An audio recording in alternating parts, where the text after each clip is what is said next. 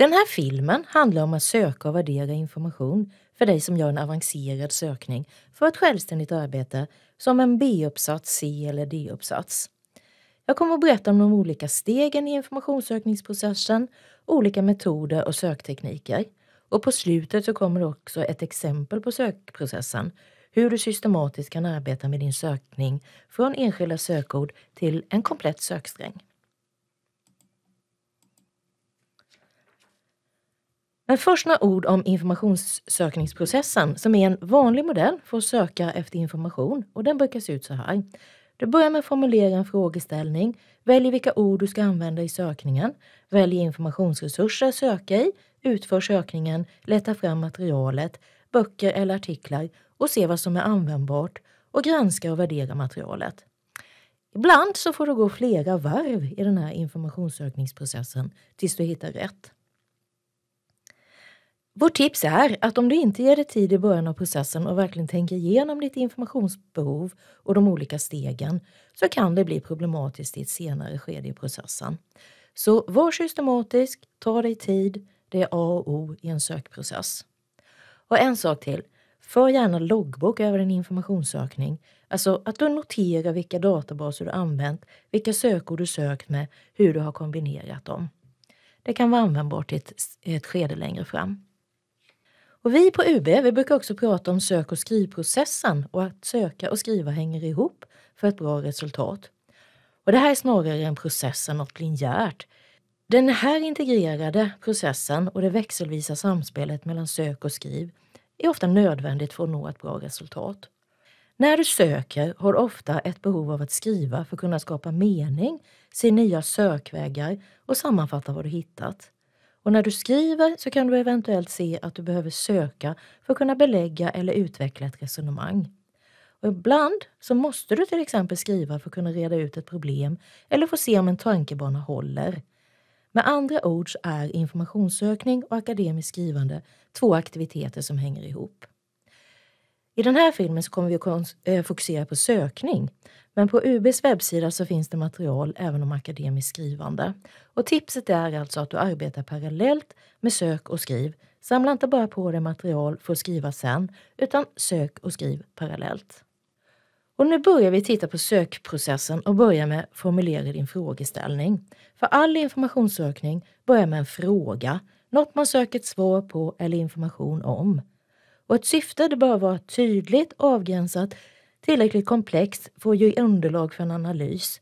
Och det är bra om syftet är kortfattat, gärna en mening. Ditt arbete skulle syfta till att lösa ett problem eller ge ökad kunskap inom ett visst område. Så syftet kan därför till exempel utgå från att du har en eller flera frågor som du vill ha svar på, ett fenomen som du vill beskriva, analysera eller diskutera, eller ett påstående som du vill argumentera för. Och syftet bör vara kort, tydligt, relevant och kunna besvaras. Utan syftet, ja men då är det svårt att hitta rätt i den här information, informationssökningsprocessen. Men kom också ihåg att ditt syfte mycket väl kan omformuleras under din sökprocess. I din text så kommer bakgrund och problemformulering att leda fram till syftet. Det ska finnas en röd tråd i den här delen av ditt arbete. Och för att kunna formulera en frågeställning så börjar du med att tänka igenom ditt ämnesområde och skaffa dig en överblick över ämnet. Ett tips i det här läget är att använda en mindmap, alltså en tankekarta, för att förtydliga ämnesområdet. Poängen med en mindmap är att du på ett överskådligt sätt kan få grepp om ämnet som du håller på med, de termer och begrepp som hör ihop med det och hur de är relaterade till varandra. Här är några tips på hur du kan skaffa dig en överblick. Via uppslagsverk och kurslitteratur och handböcker. Du kan ju googla, både vanliga Google och Google Scholar. Google Scholar som då är inriktat på akademiskt material. Du kan söka i OneSearch, du kan ju omvärldsbevaka, se vad pratas det om i tv, radio, sociala medier. Man kan också leta efter översiktsartiklar och du kan också skaffa inspiration av andra studenters uppsatser. Men tänk då på att andra studenters uppsatser är just bara för information. Och när man också orienterar sig i ämnet och du kanske har fått en idé om vad du vill rikta in dig på, så testsök ditt tänkta ämne. det här är också då, dels får du hjälp med att kunna formulera när du testsöker, men det lönar sig också att i ett tidigt skede upptäcka hur mycket eller lite det finns skrivet om ett visst ämne. För du kommer finna att vissa ämnen är väldigt beforskade medan andra är sparsamt beforskade och det är ju bra att veta i ett tidigt skede.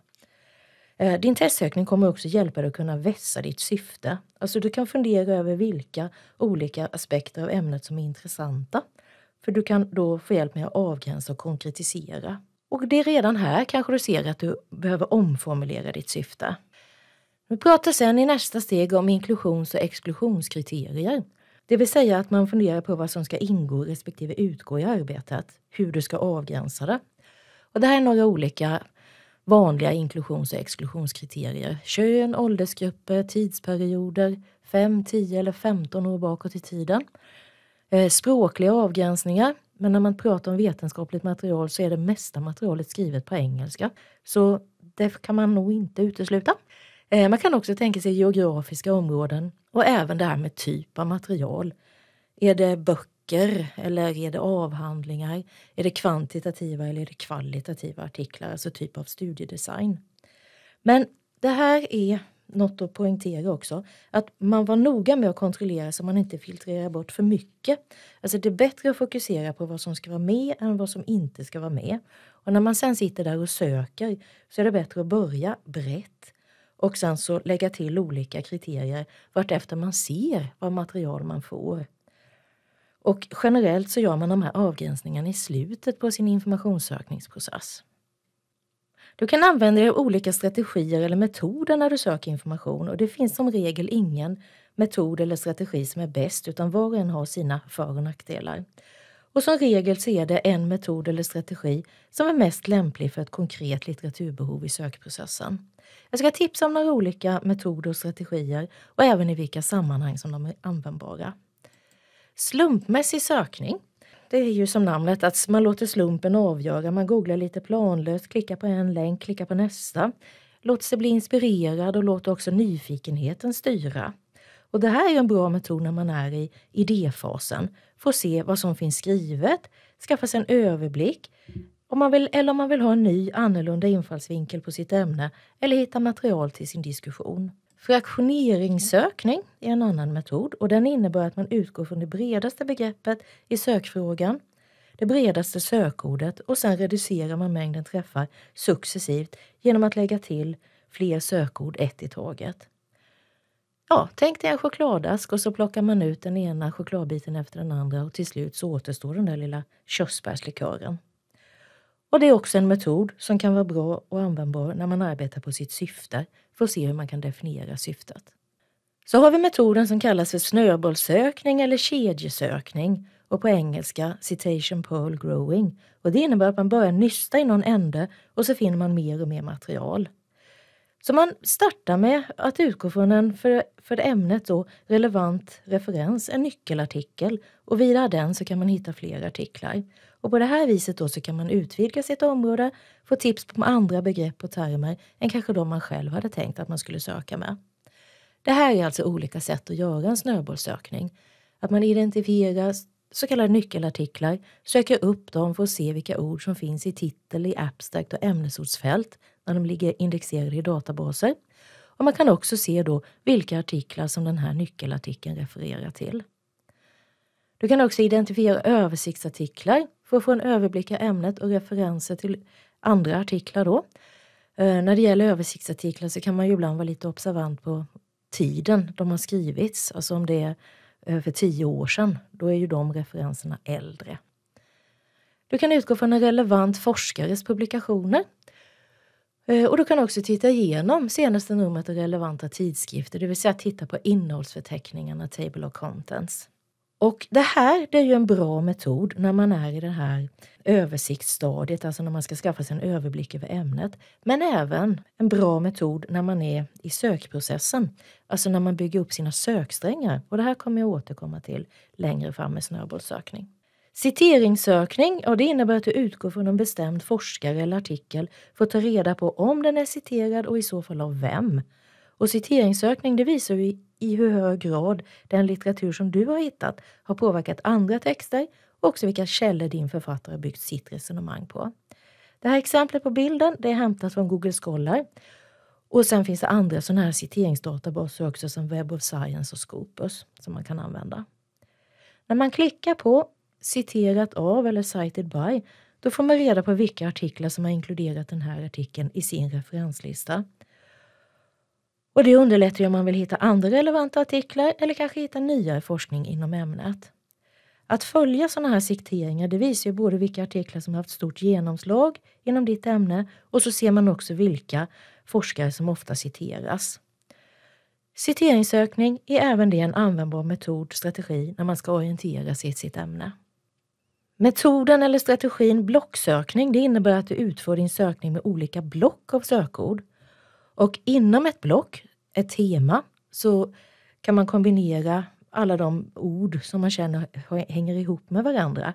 Så ett block det kan bestå av olika synonymer, varianter av ett sökord. Här kan det också finnas både fritexttermer och ämnesordstermer. Och inom ett block kombinerar man sina sökord med år, det vill säga eller-operatorn. Mellan de olika blocken sen, för då kan man ha flera block i en sökning, då använder man AND och operatorn. Och så får man då fram, man lägger ihop det temat och det och det, de olika blocken och så får man ihop till sin, sitt resultat, sin chokladkaka. Och det här det är en metod som är användbar när man bygger upp komplexa söksträngar och också när man ska fila på sin sökstrategi. De här blocken de kan också då utvidgas eller minskas efterhand som man jobbar med sin sökning. Och det kommer ett exempel på det här med blocksökning lite längre fram i presentationen.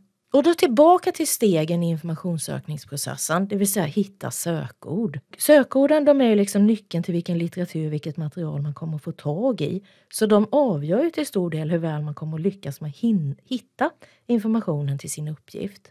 Så använd dig av de olika sökmetoder och strategier som jag berättat om. Använd dig också av de olika sökvägarna som du använder för att orientera dig i ämnet och samla sökord och begrepp. Och så kan du också titta på länken på UBs webbsida som leder till uppslagsverk och ordböcker. Eh, och det viktigaste kanske det är att du måste översätta alla termer som du tänker använda till engelska. I alla fall när du söker i de här internationella ämnesdatabaserna. Så när man jobbar med att hitta sökord så är det också en del språkliga eh, saker man behöver tänka på. Dels är det det här med att hitta synonymer och närliggande begrepp. Skola eller läroanstalt. Det kan vara det vardagliga språket eller slangord och sen kom fackuttryck eller akademiska uttryck, plugget eller skola, akademi, lärosäte. Man kan också fundera över om man ska använda de generella övergripande sökorden när man söker eller vara mer specifik. Grundskola eller de olika stadierna.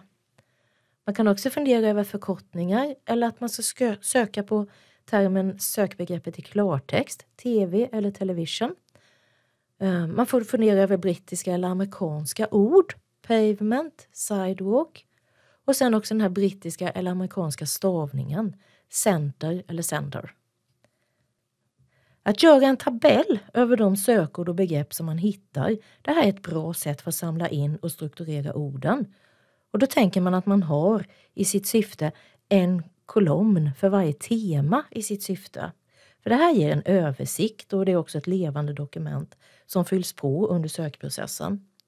När du sen gör sökningar så försök att hitta olika kombinationer av de här sökorden och begreppen och inte söka liksom på alla ord inom ett tema samtidigt. För att söka efter några aspekter åt gången kan också öka möjligheten för att hitta relevant litteratur. Och den här tabellen den kan ju också hjälpa dig att hålla koll på vilka sökord och begrepp som är användbara och som ger relevanta träffar och också en struktur för dig själv att du kan se vilka ord det är jag har testat hittills och använt. Och så kommer vi till steget om att välja källor, det vill säga identifiera relevanta informationsresurser. Vilka databaser som UB har, det listas i de olika ämnesguiderna som vi har på webbsidan och också den lista av alla databaser som finns på UBs webbsida. Och då har det information och länkar till dem vi har tillgång till. Här finns olika typer av databaser. Så till exempel finns det de där du i första hand hittar böcker och rapporter. Databaserna OneSearch, Libris och Svepub. Och så finns det också databaser som fokuserar på artiklar. Då finns det de som är ämnesövergripande. OneSearch, Web of Science, Google Scholar. Och så finns det de ämnesspecifika som ACM, Business Source Ultimate Communication Abstract, Psykinfo, Sociological Abstract med flera. Och när det är dags att börja söka så behöver du också ha koll på de olika sökteknikerna som finns. De vanligaste teknikerna det är trunkering och kombinationssökning, men också frassökning och fältsökning används. Trunkering det innebär att man skriver in början på ett ord och sen söker på olika ändelser genom att sätta dit den här asterixen i slutet på ordet. Så i det här fallet, exemplet, så får jag då när jag skriver in student med asterisk så får jag träff på student, students, studenter och så vidare. Och trunkering, det är alltså en, ett sätt att utöka en sökning. Frassökning, då söker man på det exakta begreppet och då sätter man samman en fras med hjälp av det här med citationstecken. Och då söker man på det exakta begreppet och det kan vara två eller fler ord som står tillsammans i en viss ordning. Och när man söker, använder frassökning då avgränsar man sökningen. Och frassökning är särskilt användbart på engelska där det är vanligt att vi särskriver begrepp. Kombinationssökning, då kombinerar man sökord med varandra och använder de olika operatorerna AND och OR. Och AND, det avgränsar student och eh, fysisk aktivitet. År utökar student eller elev och fysisk aktivitet. Fältsökning är också ett sätt att avgränsa en sökning, det vill säga då styr man sökningen till ett specifikt fält. Att man kanske vill söka då efter fysisk aktivitet i titelfältet. Och det här är användbart när du känner till en artikel och vill söka upp den i en databas. Då kan du skriva in artikelns titel och avgränsa till fältet title. På UBs webbsida så finns det både eh, text och filmer mer om sökning och det finns filmer om de här olika sökteknikerna. Så kommer vi nästa del i det här med sökning och då dyker de här begreppen fritextsökning och sökning med ämnesord upp. Och det här är olika sätt att ange sökord för att söka i en ämnesdatabas. Vad som kännetecknar de här två olika metoderna då, eller sätten att söka, det är att eh, en fritextsökning den söker överallt i artikelposten och kan ge många träffar men också irrelevanta träffar. Fritextsökning är jättebra att använda när man är i början på sin sökprocess för att fånga in så mycket som möjligt. Man söker brett och också för att hitta nya begrepp och ny forskning som kanske ännu inte har fått några kontrollerade ämnesord. Då måste man göra fritextsökning. Vid en ämnesordssökning så använder man sig av de ämnesord som finns i databasens ämnesordslista, en så kallad thesaurus. Och där finns det vedertagna termer för olika begrepp.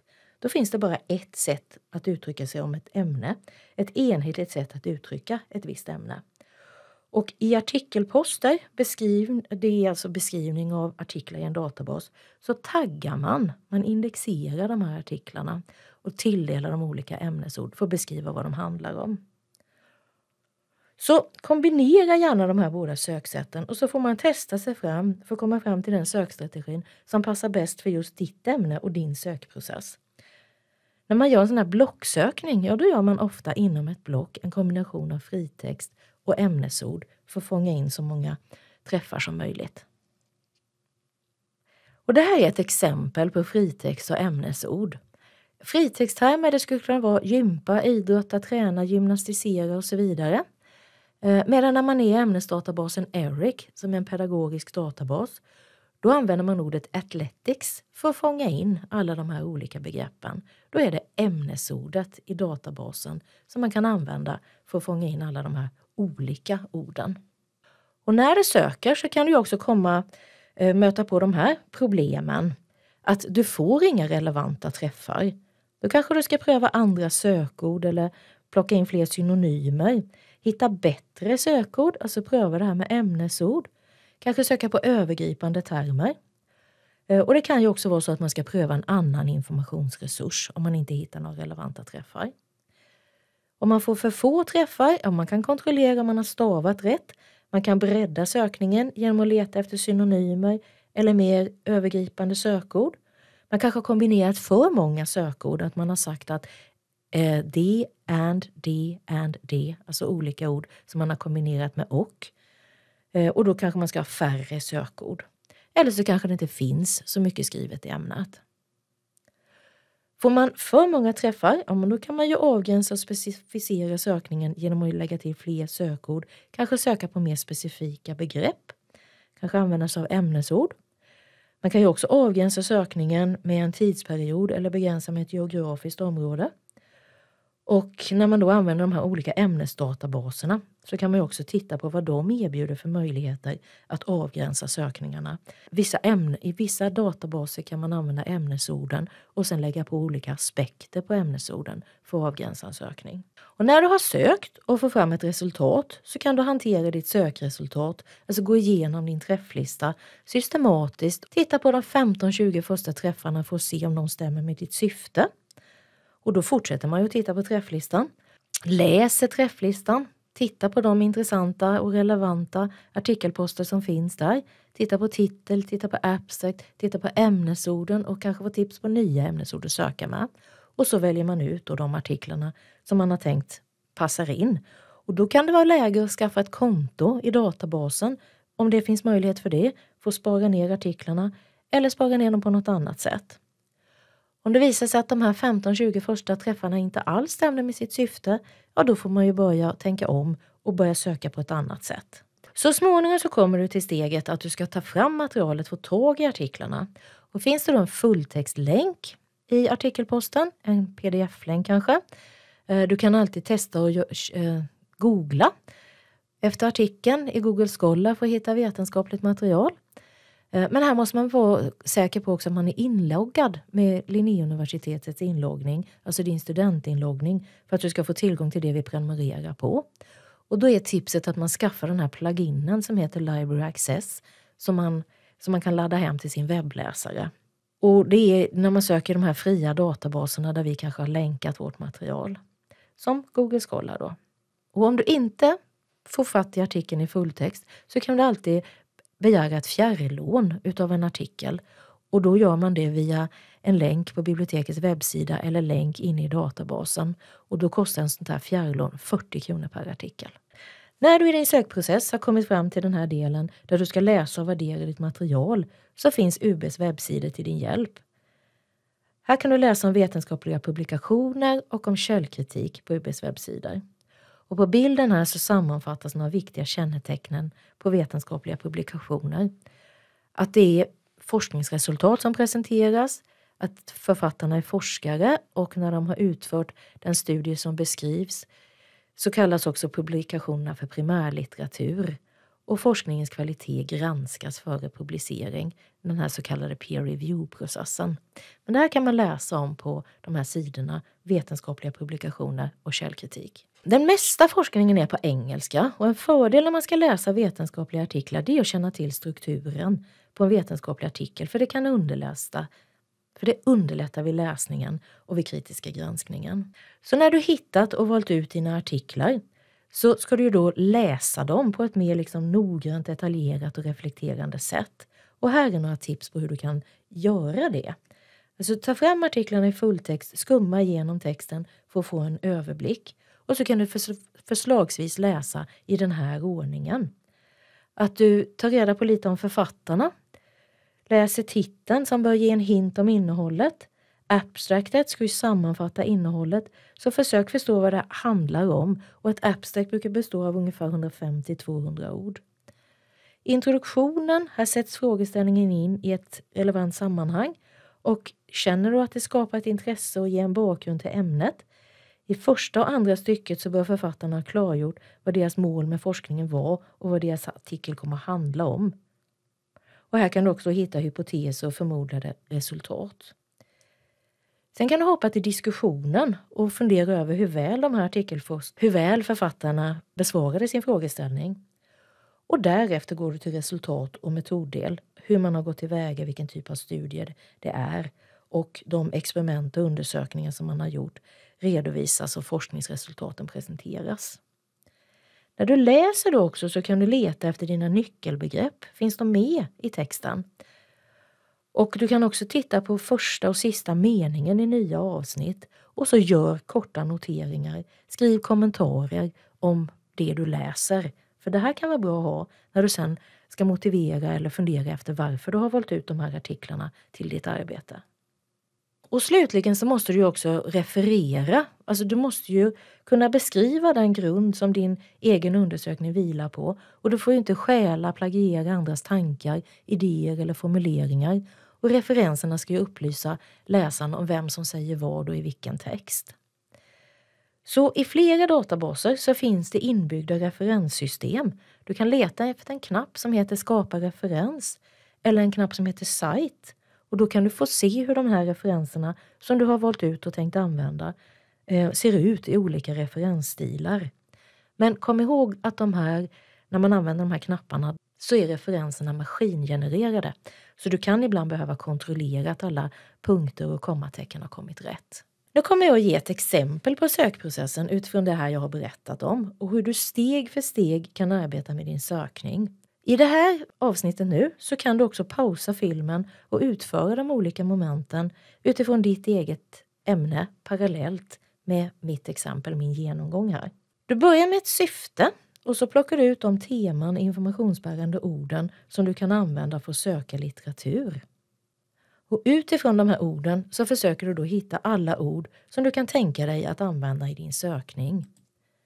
Brainstorma helt enkelt dina sökord. Och de ord som du kommer fram till när du brainstormar, de för du in i din tabell över sökord och begrepp. En kolumn för varje tema i ditt syfte. Och här fyller du på med både svenska och engelska ord och begrepp.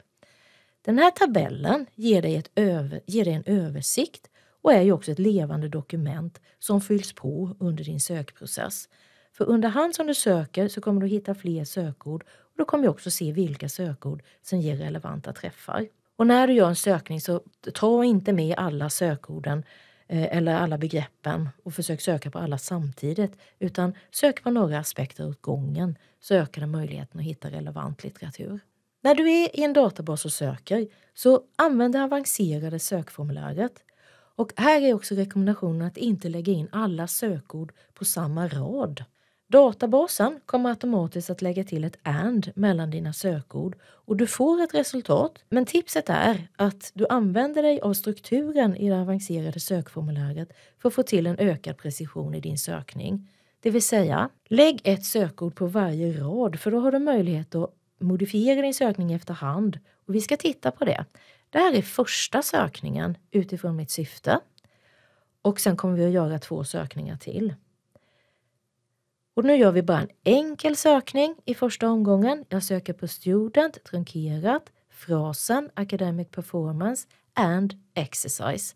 Tre olika block. Jag får ett resultat och det här resultatet som jag har fått fram, de kommer jag, det kommer jag att dammsuga. Alla de relevanta artikelposter som jag ser. Jag tittar på titel, får se om det finns ord i titeln som jag kan ta med i nästa sökning. Jag kanske plockar författarnamn för att se om jag kan hitta om den här författaren har skrivit fler artiklar. Jag kan titta på vilken tidskrift den här artikeln är publicerad i för att se om det är en tidskrift som jag ska titta närmare på. Och SÅS, det är alltså källa, det vill säga vilken tidskrift som artikeln finns publicerad i. Jag tittar i abstract för att se om det finns ord som jag kan ta med i nästa sökning, det vill säga fritexttermer. Och så tittar jag också på den delen i artikelposten eh, där man skriver subject och det är alltså de ämnesord som databasen använder för att indexera artiklar med. De ord som den väljer ut för att tala om vad den här artikeln handlar om och då samlar man på sig dem också. I en del databaser så finns det också en funktion som kallas för related, related articles eller similar articles och där kan man ju också titta på vad är det för artiklar som finns här och kan hinta ord och begrepp från de här träffarna för att få fler sökord och bredda min sökning. Och med den här arbetsgången så bygger du på din tabell över tänkbara sökord och du kan utvidga din sökning, komma fram till fler sökord och vilka kombinationer av sökord som är mest givande för att hitta material till ditt arbete. Så efter min första sökning så fyller jag då på tabellen över sökord och det här är alltså ett levande dokument som man jobbar med under hela sökprocessen. Då går jag vidare till sökning nummer två och då har jag plockat med mig fler sökord.